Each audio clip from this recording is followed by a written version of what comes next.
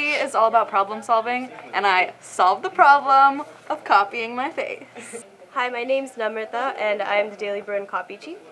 Uh, hi, I'm Anjishnu, and I'm the assistant copy chief. Hi, I'm Derek, and I'm a copy editor.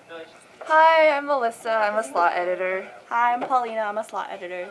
Hi, I'm Brendan. I'm also a slot editor. Um, Daily Bruin copy copies the paper's last line of defense, and we're the reader's advocates.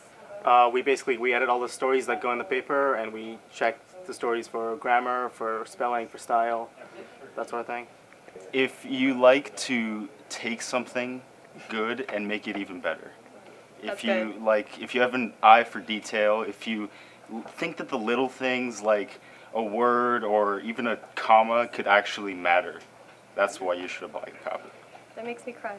I think a lot of people think journalism is all about the writers, but it's a but you realize at the Daily Bruin it's a collaborative process, and that copy is very important with all pieces of content, whether videos, photos, graphics, or stories.